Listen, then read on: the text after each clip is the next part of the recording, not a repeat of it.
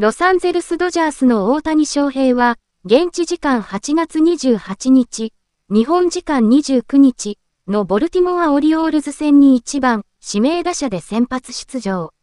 初回の第1打席に3試合ぶりの42号先制本塁打を放った。動画、大谷翔平の3戦ぶり42号先制本塁打をチェック。この日、大谷は初回先頭の第1打席、オリオールズ先発右腕コービン・バーンズと対戦。カウント1月2日から約141キロのスライダーを捉えると、打球はライトスタンドへ飛び込む今季42号の先頭打者ホームラン。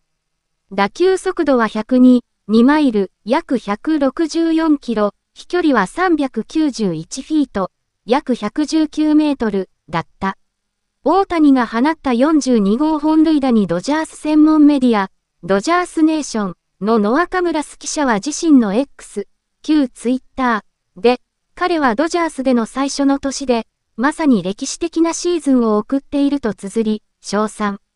また、全米野球記者協会会員のパトリック・リオンズ記者も自身の X で、今、大谷翔平がボブルヘッドナイトでホームランを打った。彼は今季、間違いなく50分の50に到達するだろうと称えた。